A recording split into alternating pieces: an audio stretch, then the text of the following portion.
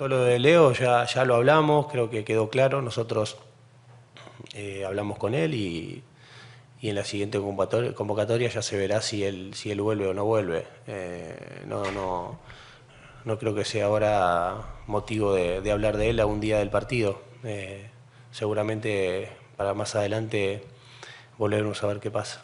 Todo lo de Leo ya, ya lo hablamos, creo que quedó claro. Nosotros hablamos con él y, y en la siguiente convocatoria, ya se verá si él, si él vuelve o no vuelve. Eh, no, no, no creo que sea ahora motivo de, de hablar de él a un día del partido. Eh, seguramente para más adelante volveremos a ver qué pasa.